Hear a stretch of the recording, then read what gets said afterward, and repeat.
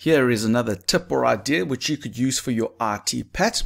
And this example, we're going to look at an administrator screen where the administrator is the only one that has rights to edit the database. We did a previous video where the administrator could insert a record into a database. And yeah, we're going to do a simple basic system where the administrator can edit or delete a record in a database. This is a very simple one.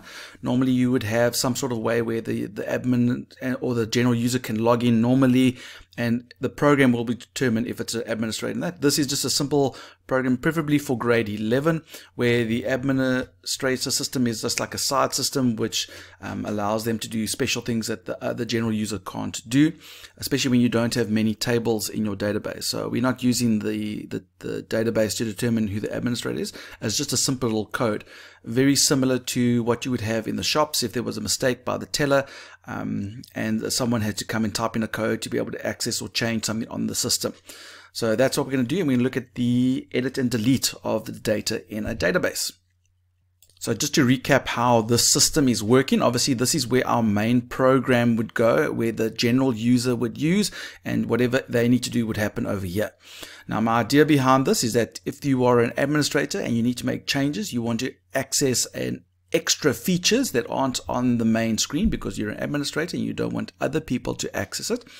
Then you have, I've got this little admin little A at the top there, a red uh, or a yellow A. And when you click on it, what it basically does is when I can get it to open the code, it's going to ask for a special code. You can generate, you can determine your code in any way you want. If it's a hard code built into the actual code, a word that they must type in or a number, or you can use some sort of algorithm to go fetch a particular code from a, a, database or from a text file. But basically, if they successfully type in the right credentials, then we make an admin panel visible and we set the admin panel to the, the zero and zero of the left and the top, which basically means, and I think it's over here, this is my admin panel. So it's basically going to move it to here so that we can see it. And then we've got a button which takes us to the insert part. And then we've got a button that takes us to the to the edit or delete part. Now, the, those are separate panels themselves.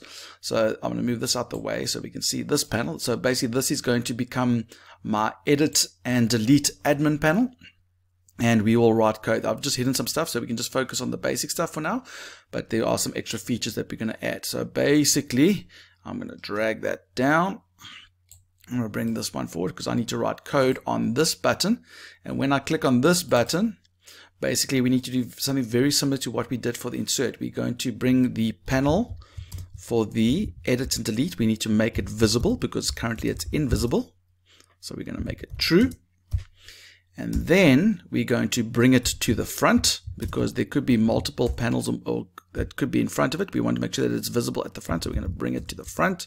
And then we're going to set its top and its left property to zero so that it can go to the front of the screen so it can go and fit in our screen so we can see it so even though we're putting it at the bottom we can bring it back to the top to where it needs to be visible okay so there's our code for that now I'm back here I'm going to move this out the way and so this is what my panel is going to look like so this one will come to the front and I've got a little, oh, we're not going to fit, there's a little close edit button. All that does is it makes this panel invisible again so that we can see what's behind it. So just so we can see what the system's going to look like when it runs, we aren't actually doing any database management yet. But basically these two panels, you can see they're in the way, but they're invisible. So when the program does run, they will obviously disappear. And then we can use the administrator code to make them reappear. So there we go, the program's running. So I click on there to go access the backend. I type in the correct code and then I can go, hey, well, if I don't want to do anything, I can just close the admin and it will close it. But if I want to go back to the admin, I go, hey, let's type it in again and let's go to the edit delete. Now it brings the edit delete up here. Okay, and so we can do stuff. We can close this part and then, okay, we do want to do anything else? No, we can close the admin. Now we're back at the original program.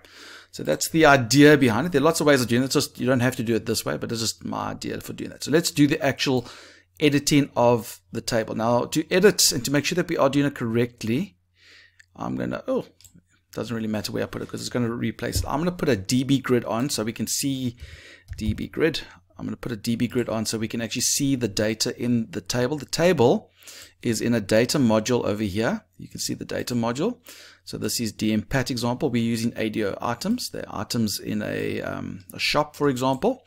So I'll make it a bit bigger. So let's do the connection. Now you see I've got a data source which is connected to the ADO table. And the ADO table is connected to the connections, uh, the connection component. So my, because I have, so for those of you who've forgotten, because I've got, if I go right to the top here, because I've got the DM database, this module, this data module is included at the top here. It means when I come over here, I can access things on that DM database unit or data module. So I'm going to come to this DB grid and I'm going to go all the way to its data source it's all in red. There's the source, and you'll see I'll have access to everything there. There you can see it. The pat example and the data source item. So I'm going to click on it, and by doing that, I have access to all these items over here. So there you can see the data. I've already made it active. Um, just to make sure that the fonts are nicely aligned, I'm actually going to change the DB Grid's font. So let's go to the font because I want to make it a bit bigger. It's nice to have fonts to be uniform and consistent. These are all 12. I'll see if 12 fits in. If it's not too big, otherwise I'll just make it 10, just to make it a little bit bigger so that it looks a little bit more uniform with the other components on your screen. Consistency is key to make sure it looks nice and professional. So let's see if we can make it a 12, see what that does. It makes it quite way too much bigger, so let's make it a 10. It'll still look a bit better, I think, than just those original. There we go. That looks a little bit better and we can go up and down. There we go. So we can see the components. Now, okay, so let's get into the code of adding or, or deleting things. The deleting is easy because we can easily just go and say, hey, select the item ID of the one that you want. So we can do that. So we can then all you do is you go to that particular item ID and you delete it. Okay. The reason why um, you want to be able to specify the ID is because there could be hundreds or thousands of records and you don't have to go through all of them but, but you must create some sort of way of searching for the record that you want to delete. Maybe you want to ask when you delete item you ask for the name of the item and it goes searches for it or whatever. So however you want to delete items you can just go okay well let's go fetch the the, the item id so i'm going to go click on this boom, boom, boom, and we're going to write we're going to use that that data module. Not that one the, the data module for the pat example. There we go and we're going to write code on here, begin end. So we can say with that, we can say ADO items. We need to search for that particular field. So we're going to first of all get the ID that we want. So I'm going to make that integer and we're going to get the ID from that spin edit. And so that's the edit delete item ID dot value. And all I'm doing is saying I need to search for it. So to search for it, I'm going to say dot first. We need to go through all the records while not. ADO items dot end of file do begin. And then we're going to say ADO items dot next okay. So what we're going to do is we're going to okay. If the ADO items if the item ID is the same as this ID that we just we're asked to delete. If it's true, then we can say ADO items dot delete. In this way, we've done a search and we've done a delete. Okay. So that's if you're deleting one record. It's not going to make a difference. And now we know that with an ID, if you delete one of the IDs, there's never going to be another ID with that number. So what you could do is you could have some sort of Boolean value here and say, okay, be done. So that tells me when the delete has been done. And we're going to make it we're going to assume that it's not been done. So we're going to uh, default it be done to false. So we assume nothing's been deleted. And the moment we do delete, then we can say, hey, uh, be done.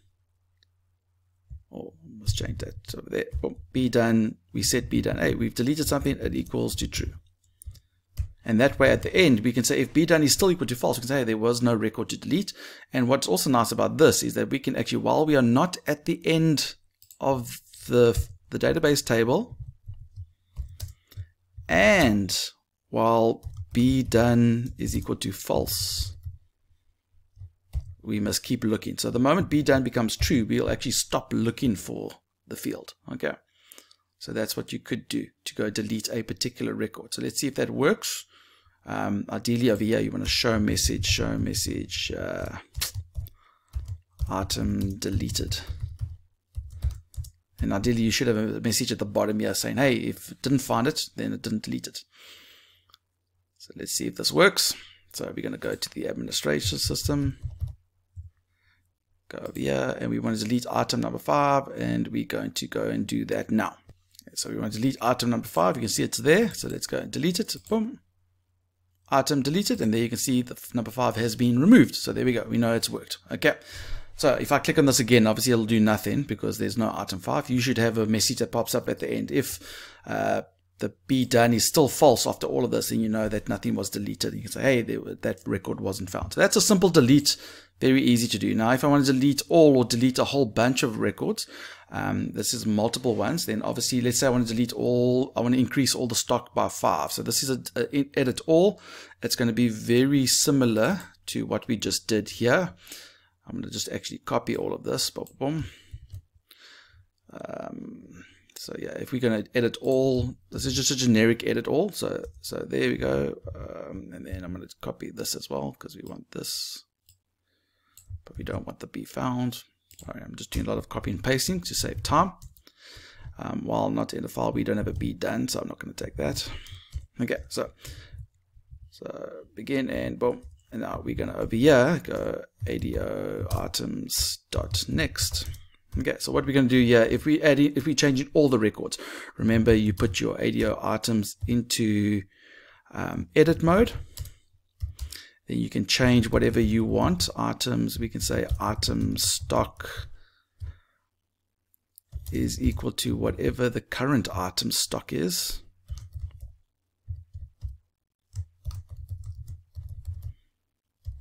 uh, plus 10. Maybe we add 10 to everything and then you're going to post the results.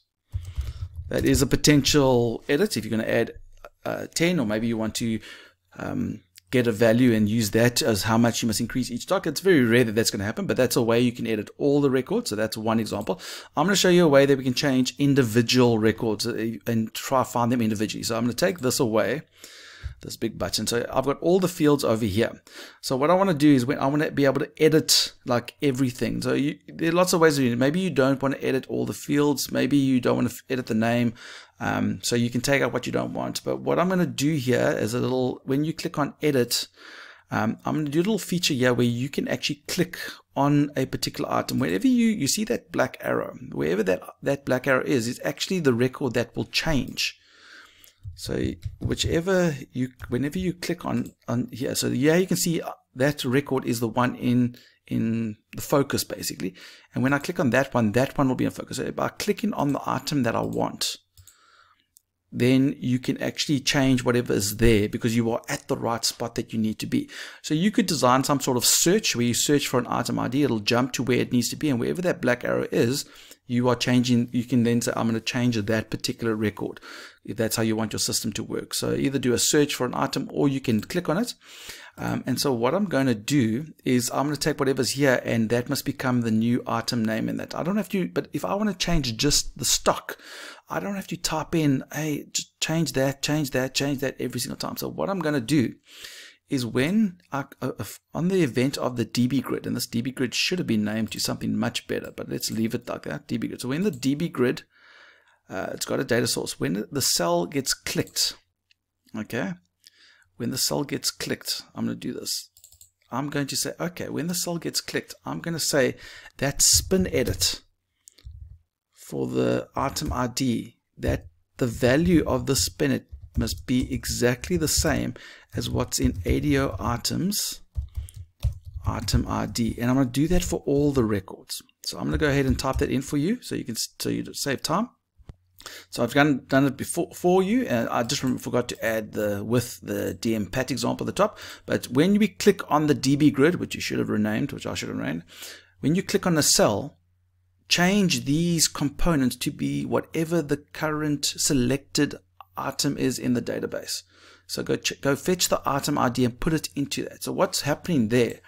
If you can see what it looks like, it's a nice little feature uh, where you can go, okay, QWERTY and you go edit and delete item. If I click on maybe bread, do you see how these are all changed to bread's values? If I click on that whole wheat bread, it changes to those ones and so on. So you can click on them and that, that'll change. So that's a little feature you could do. You, there are components, DB um, edit boxes and that that you could have used, which will do that automatically for you without code.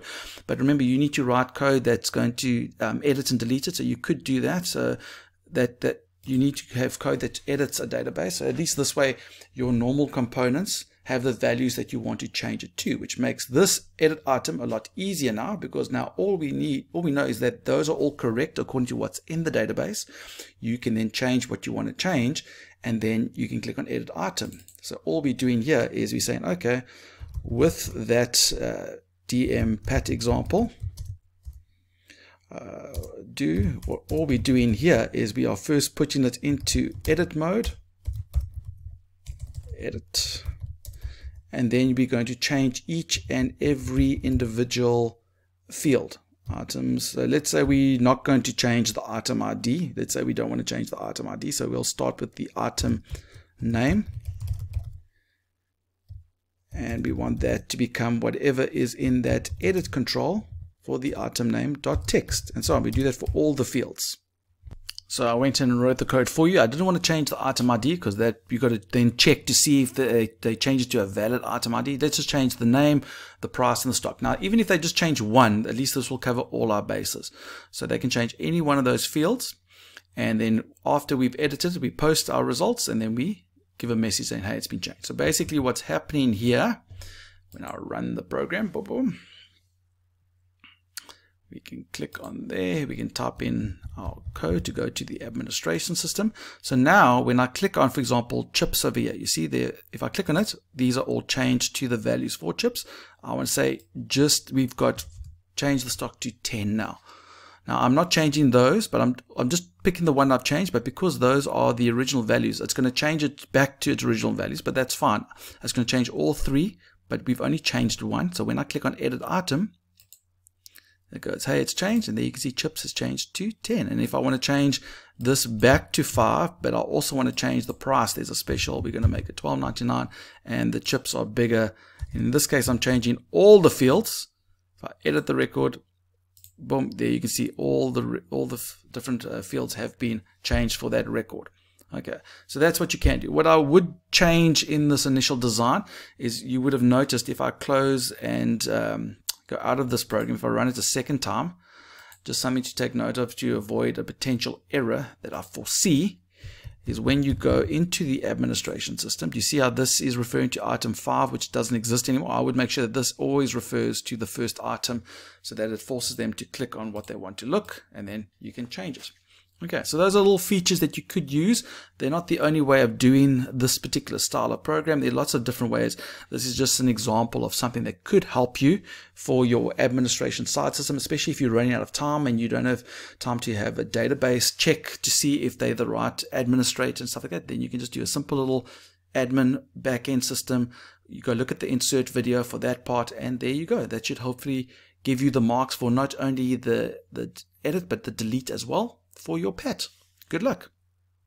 For the other video from this PAT uh, IT tip series, like on the admin insert, as well as other ideas that you could use to enhance your PAT, go to our YouTube channel. Just click on the subscribe. We'd love to hear from you, so leave a comment.